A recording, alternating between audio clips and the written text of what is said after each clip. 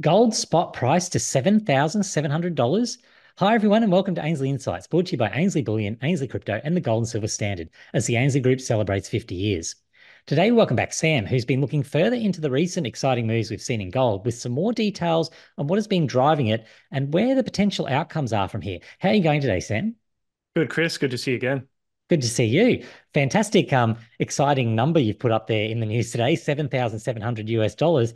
That's a that's a very big number, big jump from here. Mm. You've talked about the gold's price potentially being much higher. What what are you where are you coming from there? What's going on? Well, all you have to do is look at the 10-year bull run from roughly 2001 until 2011, which was the high point, and you can see a 600% increase in gold. And, you know, despite looking high in recent weeks, gold's actually just up over 100% from from you know our recent bull run of a, a similar time period. So if you compare that 600% to only roughly 100%, mm. we're we're not even close to the last bull run in gold. So it might look like it's, you know, high now. Okay, it's high compared to a few weeks ago, but in the scheme of things, gold actually potentially looks quite low. So if we copied the gold bull run last time and we went off 10 years from low point to high point, we would be seeing gold at 7,700 USD per ounce in the next two years. So that's all I'm looking at is last bull run compared to this one. Now, does um, you know money printing increase over time or decrease over time? Well, a lot of times it increases. So we we could even see a bigger number than that. That's just being conservative. And of course, we don't have a crystal ball. We don't know how gold's going to perform if it's going to go down over the next two years, but that's purely just looking at the last run up in gold over a 10 year period. And while you were saying that, that was what was popping through my mind when you talked about the the money printing potentially being even higher. When we look at the the debt situation in particular um, over that period of time, we are in a much worse situation than we were back during that last bull run. So your argument about that being a lower target could actually end up being the conservative um, way to look at it, really, when you think about just how much worse the situation is now than it was back then. Well, that's a term hockey stick inflation or hockey stick debt. That's, you know, the further it goes, the more sharp the the incline gets.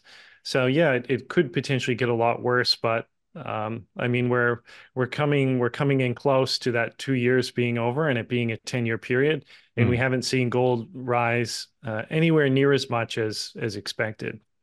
So, if we look at it from the other angle, um, and and sort of like you said, we don't have a crystal ball, we don't know.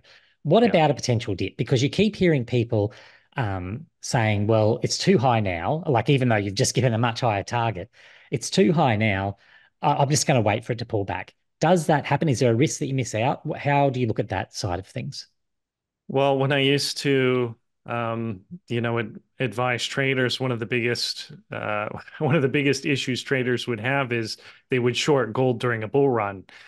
And um, swing traders always expect the price of gold to go up and down and up and down, and they trade these daily movements. And then suddenly it just goes up and it keeps going up for about 10 years and they just get wiped out. And it doesn't take 10 years to get wiped out. It's it's no. pretty quick.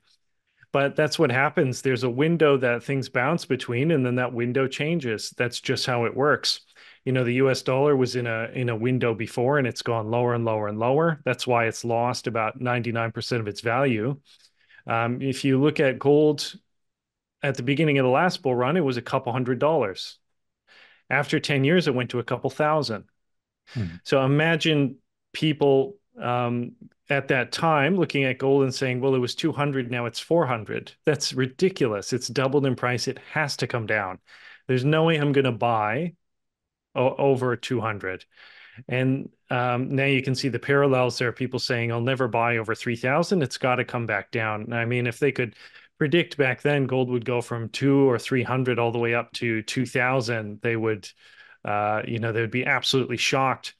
So people looking at a number now like 7000 i mean that's barely an increase from from two or 3000 so very very small increase. So um, it, it's just people not being aware uh, of gold's history and you can see it very easily on any chart.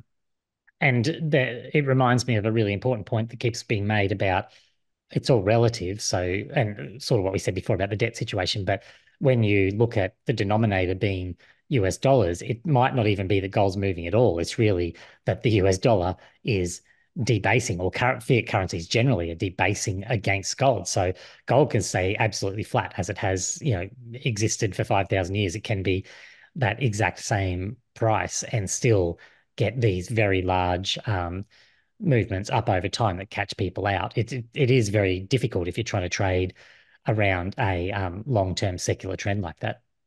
Yes, that's that's the dirty secret. Gold doesn't really go up much at all. It's the currency we're measuring and going down, and they mm-hmm. purposely switch that around to compare gold to a currency instead of currency to gold. So, um, but it's it does its job. So similar to a lifeboat, you don't have a lifeboat because a lifeboat keeps going up. You have a lifeboat just because the lifeboat doesn't go down. That's yeah.